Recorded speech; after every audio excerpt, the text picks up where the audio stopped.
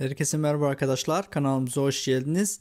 Yalı Sapkın dizisinin yakışıklı oyuncusu Mert Ramazan Demir'e ait olan yeni bir resmi sizlerle paylaşıyoruz.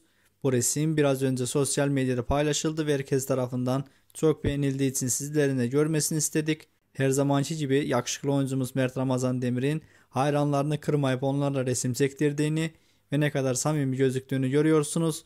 Bu resimle ilgili sizlerin düşünceleri nelerdir?